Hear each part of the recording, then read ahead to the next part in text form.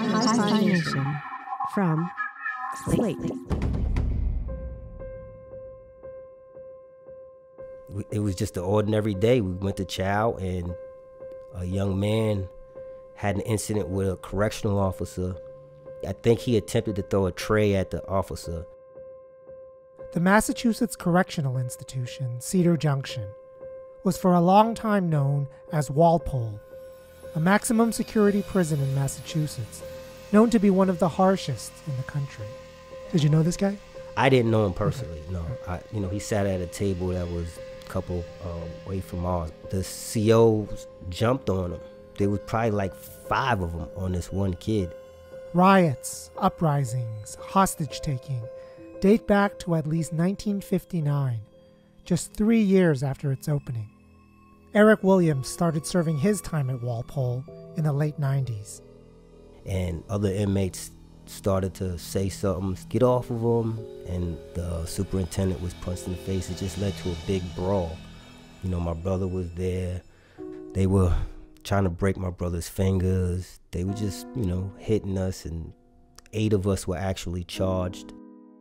In 1991, Walpole opened the Department Disciplinary Unit or DDU, a prison within the prison with 124 cells dedicated to what Massachusetts Correction deemed the worst of the worst. So, you know, two hours we were we were in Walpole in 10 block.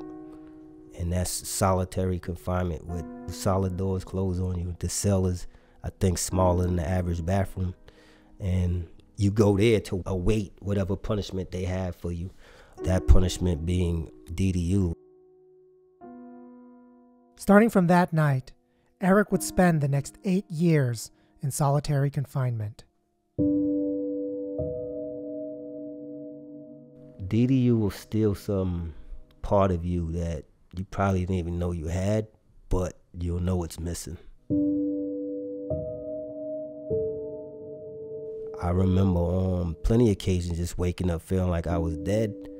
I would block my window, I would hold my slot uh, put my arm out just so they could go get the move team. The move team would come, which is five or six correctional officers in shoulder pads, helmets, and a shield.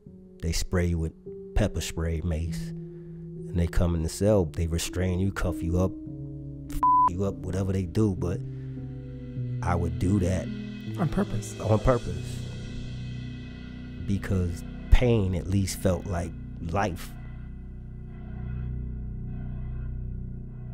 Like when you're in there and you're just by yourself, you're like in a box, your mind is racing, and you know that this can't be life. It seemed like a dream.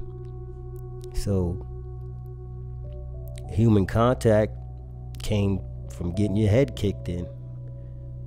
You're swollen up somewhere, you know, hey, I'm still here.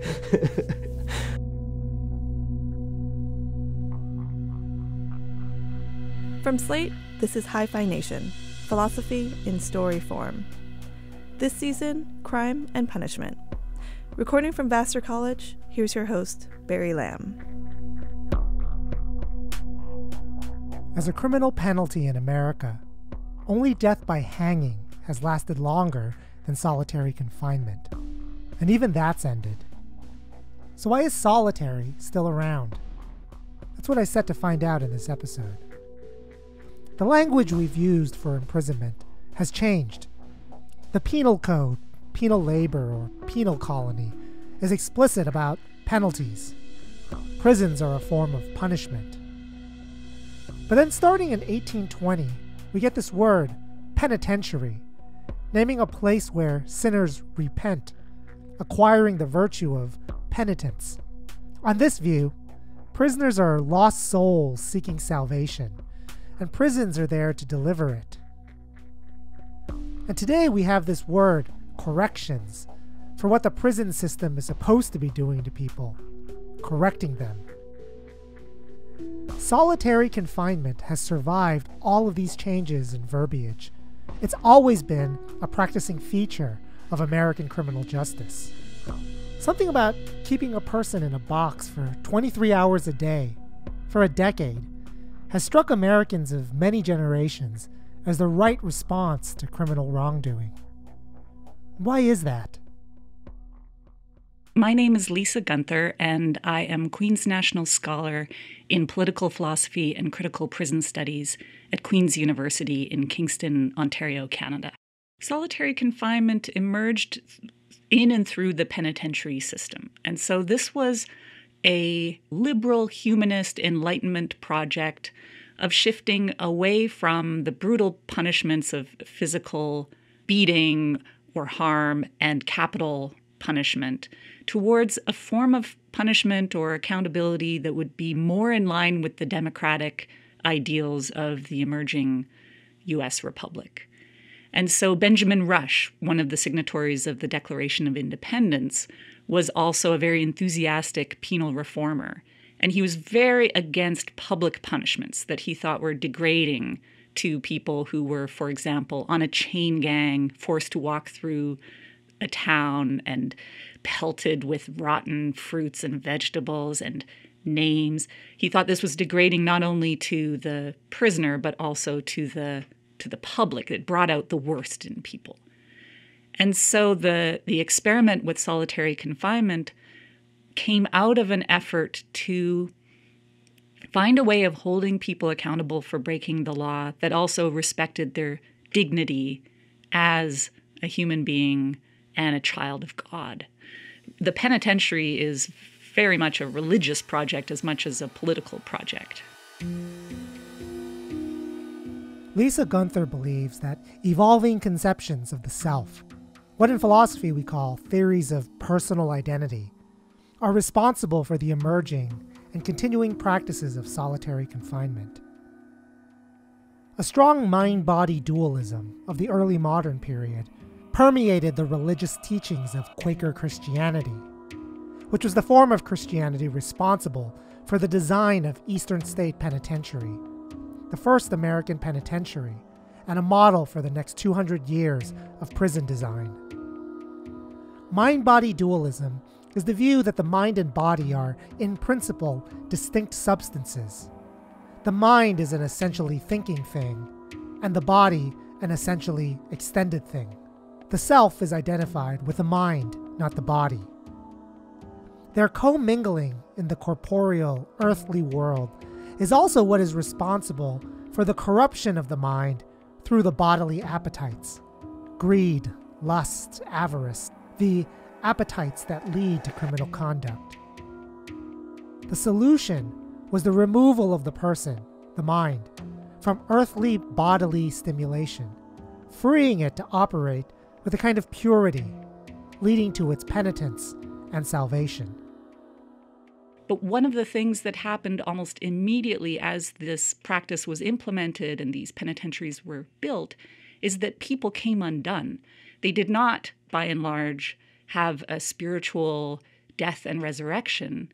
They underwent a kind of spiritual and psychological death without resurrection. Dementia was one of the, the terms in the early 19th century that was used to, to describe the sort of mental illness basically produced through long term isolation. Fast forward to about a century and a half. We're now in post World War II America with an emerging second wave of solitary confinement. At this point, we're in the early years of empirical social science and psychology, when behaviorism reigned supreme. Starting in the 1950s, around the time of the Korean War, there were reports that the Chinese had these techniques for breaking a person down and then putting them back together in a way that controlled their behavior and popularly understood as brainwashing. It was a topic of very intense psychiatric research funded by the military in large part more technically would be understood as thought reform. The theory behind thought reform was that the right techniques of brainwashing and reprogramming, just like reformatting and reinstalling a hard drive, could not only allow you to program the perfect Cold War soldier, but also allow you to reprogram the criminal mind. These experiments in the 50s and 60s began in a military context, but were very quickly transposed into a prison context where the prison is a kind of laboratory for experimenting with a period of extreme sensory deprivation and social isolation, alternating with intensive group therapy, including attack therapy, where other prisoners would be expected to provide a social context and social pressure to change the behavior of someone who had been softened up through extreme isolation. And then you'd go back and forth between these situations of social isolation and social bombardment. The vision of personhood animating these behaviorist experiments in sensory deprivation, solitary confinement, and sensory overload and social overload is that the body is a, a kind of mechanism. There are inputs and outputs. If you can control the inputs or the environment, you should be able to control the outputs or the behavior. By the 1970s, there were prisoners who were litigating against what they named as a form of torture, cruel and unusual punishment. And so the 70s were a great period of successful prisoner litigation that put an end to many behaviorist experiments on people in prison. And yet, solitary confinement didn't end. It just assumed a different official purpose. To this day, we continue to use the language of reform, maybe even reprogramming, and pretend that solitary confinement is part of the process of corrections. But Lisa Guenther doesn't think anyone believes this. Not the officials who implement it, not the policymakers that permit and fund it, and not the prisoners themselves. The animating motivation behind solitary confinement as it's practiced today is more of a supermax warehousing model, where the desire is no longer really to change the behavior of individuals, but rather just to manage populations. And so the prison and the solitary confinement unit becomes a space to incapacitate prisoners to minimize the impact that they can have on the safety and security and good order of the institution. More or less treating them as units to be held in cold storage. It's kind of like where they throw you away. For instance, I went there, there were guys that were already over there for 10 years those guys you might deem crazy or insane. So you have to, you know, be around people who'll call you nigga all day or throw feces on you or urine or try to flood out their cell with feces so it comes in your cell, bang on the cell all, on the walls all night to keep you awake. So it's like it's a torture chamber. Essentially, that's what it is. It's it's almost like they, and I, when I say they, I mean the system as a whole knows what is going to happen to a person when they send them to DDU. You can't not know. Hi Phi Nation will return after these messages.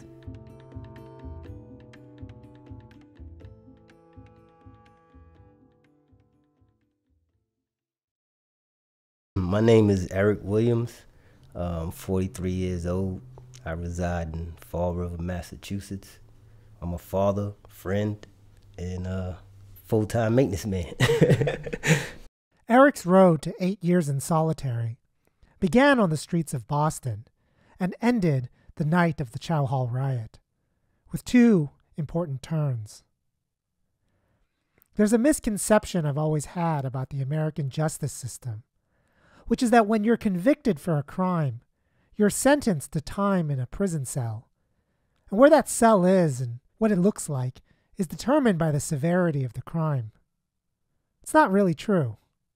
It's more accurate to say that you're sentenced to be under the will of a particular department of the state or federal government, the corrections department.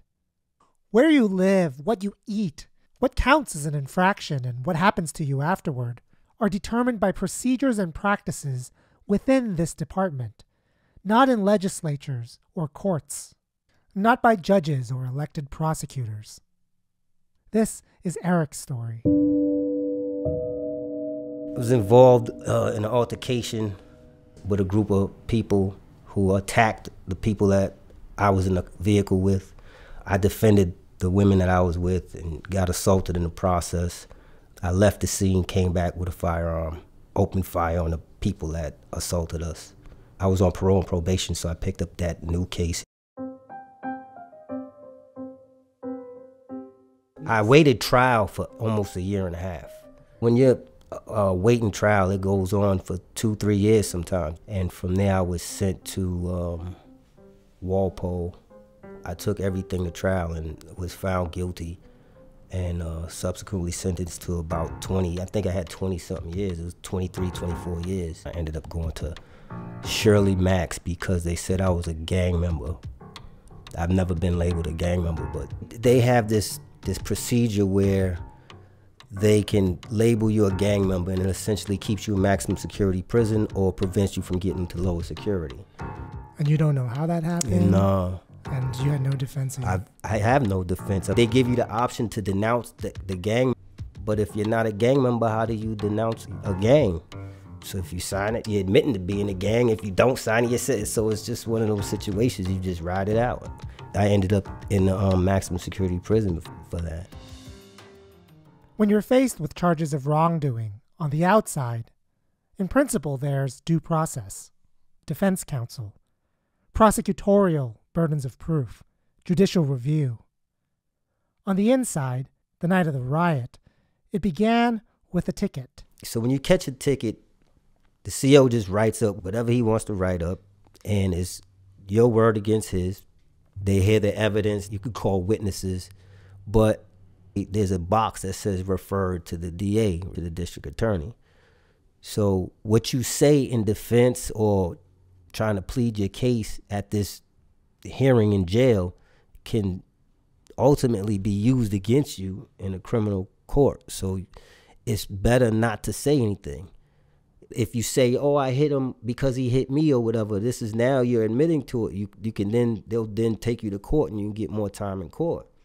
You so court is it. riskier than saying nothing? Because you know what's gonna happen is I'm gonna be here. They're gonna send me to DDU, but I'm not gonna get more time in the, oh, in the oh, criminal court. Okay, you know I what see. I mean? So extension of your sentence. Right, exactly. I see. So anybody who goes in this hearing is thinking about their their, their criminal their, their right. criminal sentence, right? As a right versus the time that they're the time spend. in, in spending the DDU. Once you have a DDU ticket, it's kind of like giving that you're going.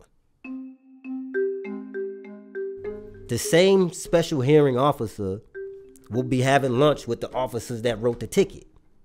So you're pleading your case before a CO? Before he's he's called a special hearing officer, but he's just He's not a judge. No, he's not a judge. okay. He's just a correctional officer who that's his job is to hit a DDU hearing. Even a, a minor infraction, if if the CO decides to refer it to DDU, then you know you're going to DDU the most they can give you for a single incident is 10 years. But while you're there, they can give you another 10 years if you pick up another incident. So you have 20 years. The bottom line is, I really can't do anything. Lisa Newman Polk is an attorney and social worker who has clients who have been in DDU or may be placed there. She knows firsthand just how powerless anyone is on the outside to challenge the Department of Corrections on their disciplinary procedures. I can write letters, and that's meaningful to my client, but nobody has to listen to anything I have to say. Maybe some of the punishments are justified, maybe some aren't. Maybe some make her clients repent, while others make them even more dangerous to the public or general population.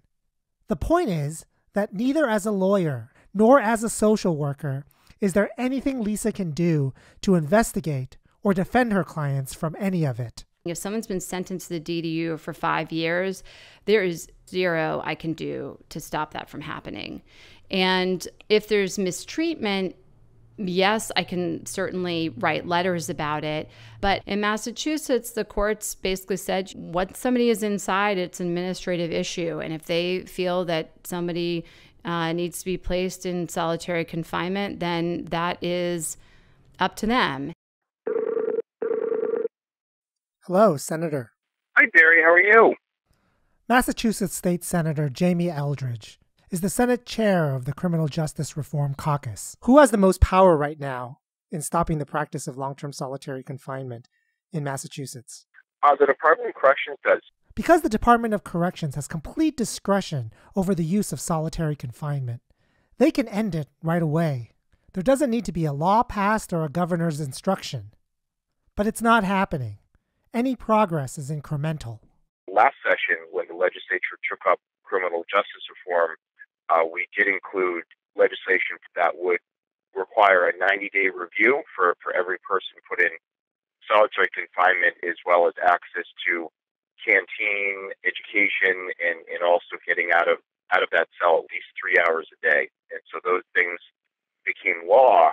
Who's doing the 90 day review? Well, that's part of the problem is that the, the 90 day review is done by the Department of Correction, but shockingly, we have found, and you know, I just recently visited MCI Cedar Junction, formerly Walpole, and MCI Concord, and met with prisoners who've been placed in solitary confinement, and many of them said that the review was really just a, a piece of paper stamped, you know, rejected or approved. Uh, there was no hearing, or that you know many of the prisoners had not even had a review who had been in solitary a number of months. Ideally, who would be doing the review? Like, what what would you want to happen during that review period?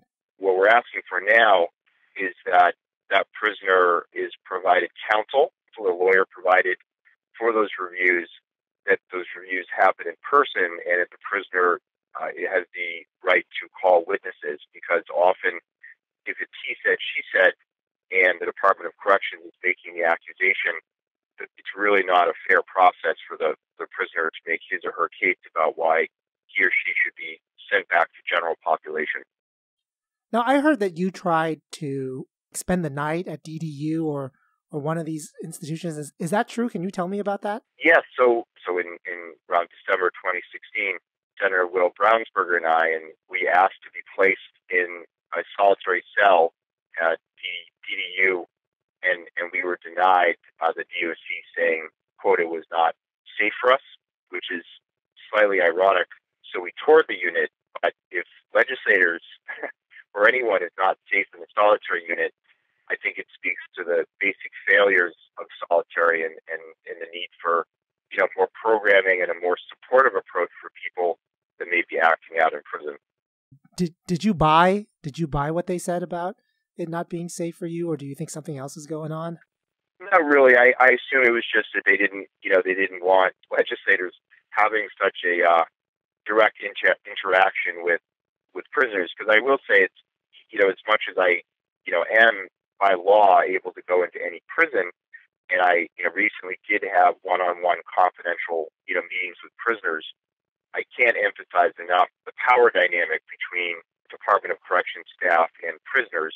You know everything from you know access to canteen to you know the kind of food they get to you know also more serious serious concerns about you know how they're how they're treated in, in their cells. And the Department of Corrections really tries to limit honest conversations between prisoners and legislators. There's a term, civil death, that refers to the condition that prisoners are in when they're subject to the almost complete power of the corrections department. Philosopher Lisa Guenther. If you are civilly dead, you can be punished by law, but you are not protected by law.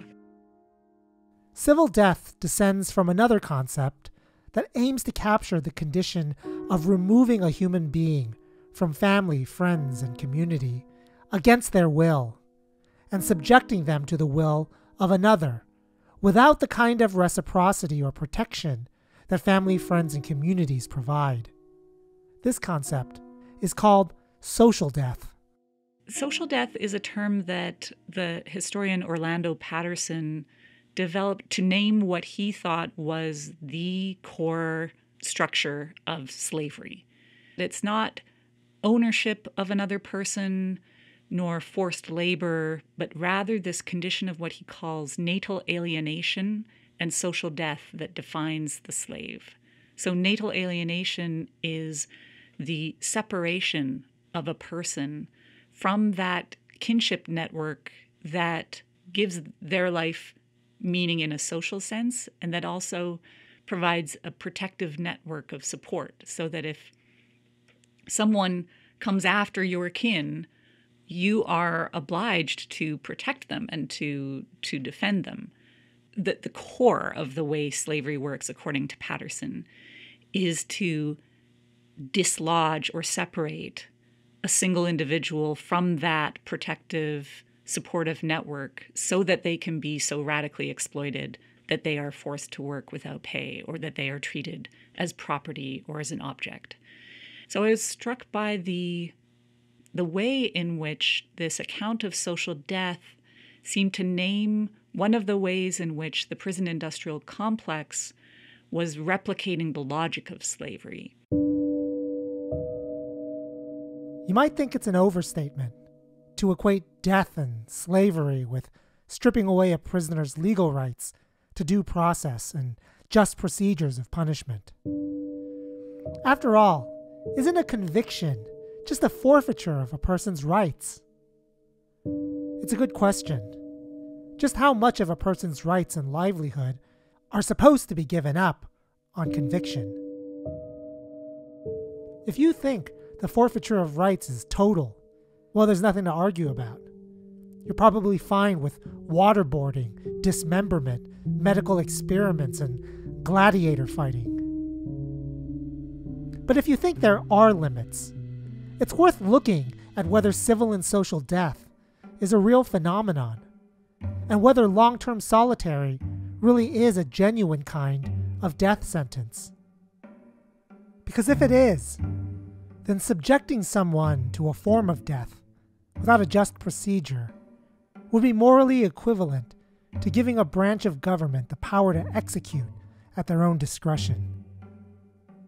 When we come back, we examine the various forms of death by looking at various forms of life, with a little help from phenomenology and existentialism.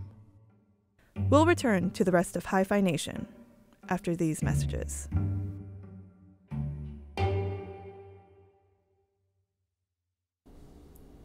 I just I think about the um, how they try to kill your soul. Some philosophers use the term bare life to describe the state of being alive without living a life. Bacteria have bare life. Comatose patients have it too. They have the minimal conditions of being biologically alive, but they're not living in the active sense.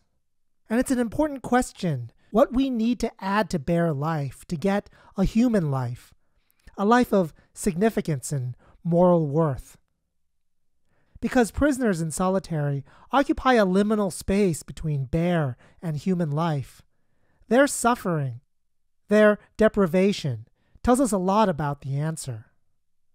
Philosopher Lisa Guenther. Many prisoners describe their experience in solitary confinement as their relation to time has come unraveled. The breakdown in an inmate's experience of time seems to be the root of other common experiences the feeling of being dead, hallucinations, hypervigilance, and anxiety. All of these features seem to begin with the inability to mark the passage of time. The inmate is unable to locate whether something happened a day or week or year ago. They can't tell what came before and what came after.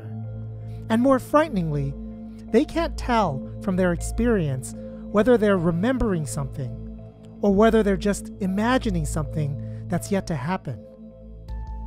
When an inmate describes time breaking down in their subjective experience, it isn't that they lack access to external markers of time, like calendars or marks on a wall. It's that what they experience in the first person doesn't feel situated in linear time at all. This kind of breakdown in the temporal order of experiences seems to happen the longer an inmate is subjected to the repetitive cycle of the prison schedule. I don't know what it does. I don't know what the isolation does to people. So your schedule is Monday, Wednesday, Friday is when you take showers. And you're in your cell 24 hours a day. Can you tell me the dimensions of the cell? I think they are six by 12, maybe. size of an average parking space. Yeah, come out for an hour a day, and a, it's a dog kennel. It's probably five feet wide by twelve feet long, and Fenced. yeah, it's fenced in. Okay. You go in there shackled. They take the shackles and cuffs on, and you just walk back and forth in the kennel next to the other guys that are on your tier. Sleep was an issue. You develop these little quirks, like you want to clean your cell all the time. Uh, you don't want to use a mop, so you use a towel. Robert King managed to create pralines, so candies, when he was prisoner for 29 years in solitary confinement at Angola prison. So he would gather sugar packets from meal trays. He managed to get a tin can and he would use toilet paper to create a little fire and then melt the sugar in the tin can and then make that into candies. Just by do, engaging in this creative work that gets your mind working towards a future that would be different from the endless repetition of the same is a really amazing, imaginative, and creative way to take control of the agency to to exist not just in someone else's time schedule, but to actually structure your own possibilities as an agent. The 20th century existentialist philosopher Simone de Beauvoir had this insight about one thing you need to add to bare life to make it a human life. You need to add the experience of your own future as being open to possibilities. Possibilities that are not determined in advance for you, and possibilities that are not determined in advance to be exactly like all of your other experiences. Very deep in Beauvoir is this idea that what it means to be human is to exist in relation to possibilities that are open ended, that are unforeseeable. The way that Simone de Beauvoir defines oppression is in terms of a, a cleavage or a cutting apart of humanity into those who have a relationship to an open future, those for whom possibilities are live and ongoing and not prescribed or determined in advance. And those who are condemned to endlessly repeat the same thing over and over and over again. De Beauvoir's insight is that a source of social death comes from the way long term solitary alienates an inmate's experiences from time. By using austere schedules and spaces to extinguish any role an inmate's current actions can have on their future. Well, almost any role. My level of, I guess, violence, all of that increased. I think the recidivism rate for the department it has to be greater than the recidivism rate for somebody coming to the street. I don't know. I can't explain. I don't know why that happens. I just I've seen it. I've seen everybody that that comes to DDU. I've seen them almost all come back. Talk a little bit about that first time that you were trying to reintegrate yourself in the general population and, That and what didn't happened. work Yeah, well. yeah. Let's Um, talk about that. leaving DDU, I was I was I was sentenced to four, but I ended up doing five years. When I got out of DDU, I was just extremely paranoid, extremely anxious, and I ended up stabbing someone. And going back, I was only out for forty days. The the thing is is is considered you having a behavioral issue instead of a psychological meltdown. I was having a meltdown. Do you remember how you felt when you knew you were going back? Relieved. You felt relieved. I've never met anybody that has gone to DDU who doesn't go back, and it's not because they like it. It's because they come accustomed to the the chaos and and, and everything that's over there. You know, the the isolation. The, the you become accustomed to that. So when when you're now in population, and you, you're seeing people move with the, their hands and they're talking and and they're around you, you're paranoid. Always somebody's out trying to get you. They want you to go back. They want you to fail. That kind of thing. Because whatever whatever happened over there, it, it it's the human lack of human contact. And how much longer were you there for the second time? Three years. So did a total of eight years, five years, then three years the second time. There's a pathology to the American approach to criminal punishment that's marked out by our continued use of solitary confinement. It isn't a biological death sentence, it's a civil and social death sentence. But in the correction system, it's deemed by someone somewhere with power as a necessary evil, necessary for safety, necessary as a deterrent, necessary as a deserving punishment for wrongdoing.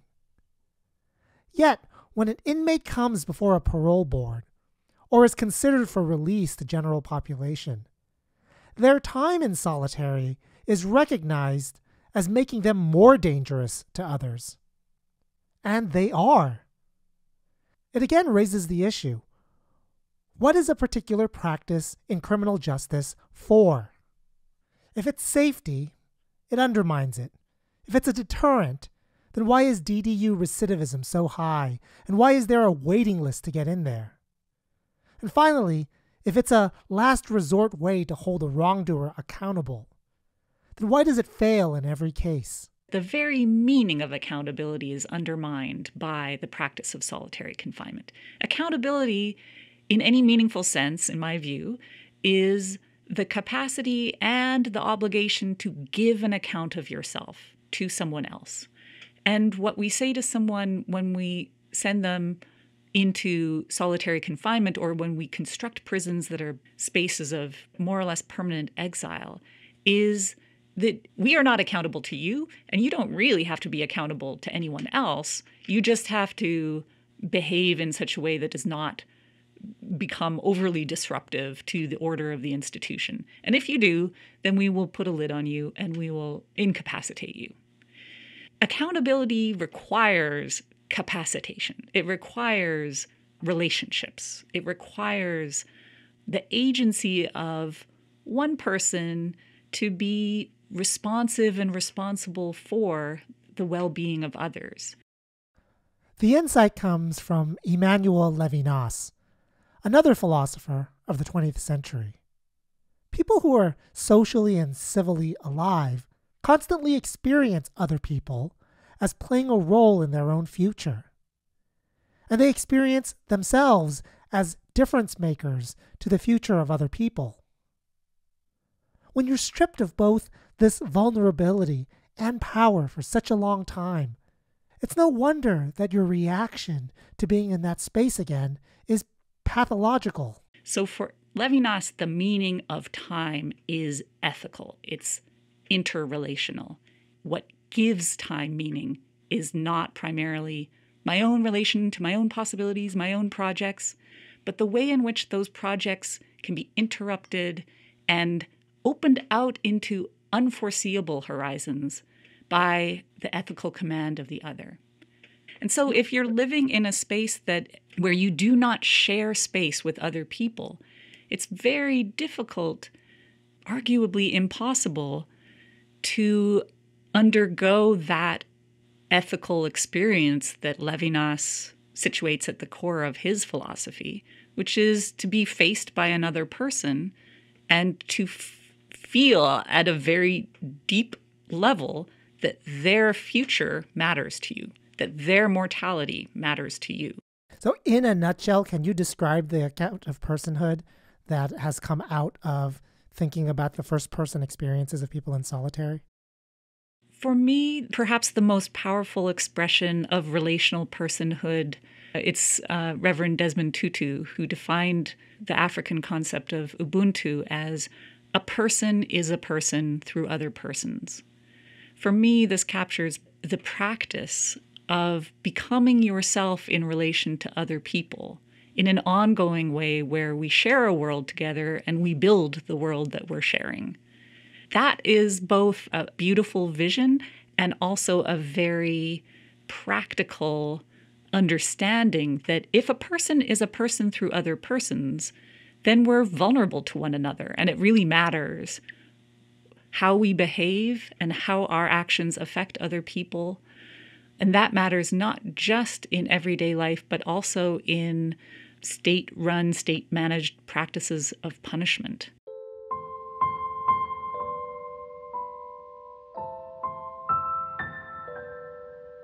This time it was different because my best friend and I had formed a pact to change our lives, to change the narrative. We just wanted different. We both grown up, just locked up all the time. That best friend's name was Eugene. Eugene Ivy. Erick and Eugene had known each other since they were teenagers. And Eugene was given 10 years in DDU, which turned into a total of 12 years and 8 months. It so happened that when Erick was sent back to DDU the second time, they were housed together in the same tier, so they could write letters to each other, speak to each other during their hour in the dog kennel. They even communicated through the ventilation system. What they decided to do was start a book club. I remember this book, All God's Children. All God's Children is about Willie Bosket. It essentially broke down a historical overview of his entire family and everyone's criminality. He picked up like a homicide as a juvenile, and he had spent a lot of time in isolation. They would drug him, strongest dose of Thorazine, and it wouldn't do anything to him. He just became extremely violent, uh, extremely paranoid. We related to that story. I mean, we we read so I couldn't even tell you all the little books I've read. Anything. That's how you got out of DDU. And um, we just formed this plan to to hold each other accountable. From their pact, from their relationship, Erick started to educate himself about legal procedure and the Massachusetts sentencing process. Both got out of DDU, insisted on getting mental health treatment. Eugene got his GED, enrolled in college, even served as a facilitator for conflict resolution in the prison's new restorative justice program. He started training therapy and service dogs. And Erick was able to sue the parole board for procedural violations and eventually win an early release in 2014. Eugene is still locked up, but it's a complicated story.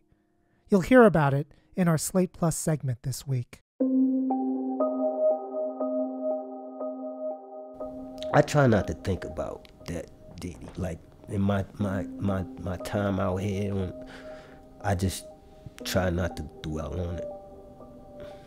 I've made a lot of uh, strides, so to know that they didn't succeed, the system didn't succeed. If I'm already in prison for a crime, I'm already being punished. I think there comes a point where you have to think about what you're doing to people. Another human. People would be up in arms if a dog was treated the way they treat us. Can't even leave your dog in the car for 20 minutes without someone calling the police. But you can leave a, a person in a box and hope they'll be alright. Hope we're not making a time bomb. Hope we're not. Hope. That's it.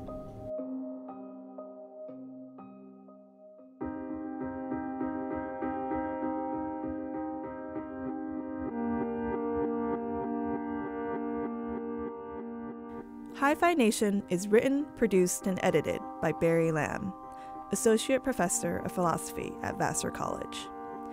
Editorial Director for Slate Podcasts is Gabriel Roth. Senior Managing Producer for Slate Podcasts is June Thomas. Operations Manager for Slate Podcasts is Asha Saluja. Editor for Slate Plus is me, Chau Tu. Our new executive producer for Slate Podcasts is Alicia Montgomery. Production assistance this season provided by Noah Mendoza Goot. Visit hiphination.org for complete show notes, soundtrack, and reading list for every episode. That's H-I-P-H-I nation.org. Follow Hi-Phi Nation on Facebook and Twitter, and at the website for updates on stories and ideas.